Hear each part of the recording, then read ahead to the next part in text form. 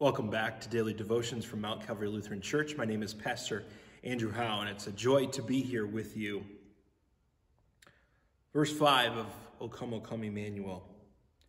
O come, O key of David, come and open wide our heavenly home. Make safe for us the heavenward road, and bar the road to death's abode. Re- rejoice, rejoice, Emmanuel shall come to thee, O Israel. Today we're going to take a look at a, a different prophet, the prophet Micah. Micah was present uh, in Israel at the time of uh, the prophet Isaiah. Not as well known or had, much, had as much to say from God. He had less to say, so we would call him one of the minor prophets, Isaiah being a major prophet because of the length of his book. He and Jeremiah uh, had much longer uh, prophecies and messages uh, to Israel. But he was from the same time, time frame as, as the prophet Isaiah. Here is what Micah chapter 5 says. Now muster your troops, O daughter of troops. Siege is laid against us. With a rod they, they strike the judge of Israel on the cheek. Micah is reminiscing there of Israel's judgment coming from uh, first uh, the Assyrians, then the Babylonians, and then finally Cyrus the Persian would take over. The judgment of Israel is consequence of Israel's sin. But yet that is the law, that is the judgment, that is God's uh, response to what he desired from his people. But listen to what verses 2 through 5 say.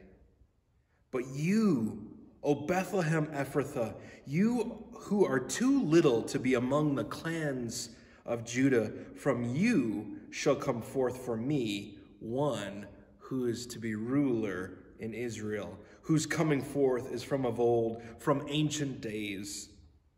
So you see there, the Micah 5, verse 2, where Bethlehem Ephrathah, it's so tiny, the little town of Bethlehem, as the Christmas hymn says, but Bethlehem is so small, it has to be known by the region of Ephrathah. And Micah lived about 18 miles away from this area. Literally, just a few hundred people were present in that in the days of Israel uh, before they were in exile. Lived in Bethlehem, Ephrathah. They had to give a region to let people know where this place was. But did you notice what was said, what was prophesied there? That someone is going to come from that. It's, it's interesting because that's the birthplace of David but be, would become also the birthplace of our Lord. Jesus comes from Bethlehem. Mary and Joseph end up having baby Jesus in Bethlehem. But Micah's not done there. Verse 3 Therefore he shall give them up until the time when she who is in labor has given birth. Then the rest of his brothers shall return to the people of Israel. Micah is talking very spiritual right here. Obviously, we know that Mary would give birth and would be in labor in Bethlehem. But then the point of Jesus coming is that Israel shall return to the Lord. You know, we come to the Lord because of Christ. Little town of Bethlehem hosts the birth of Jesus Christ so that the believers in God Almighty might be reunited with our Heavenly Father through the key, through the key of David as the hymn says. The key of David, Jesus Christ, brings us back to our Heavenly Father. And this is what Jesus is going to do in verse 4. And he shall stand and shepherd his flock in the strength of the Lord, in the majesty of the name of the Lord his God, and they shall dwell secure. For now he shall be great to the ends of the earth. And listen what verse 5 says He shall be their peace.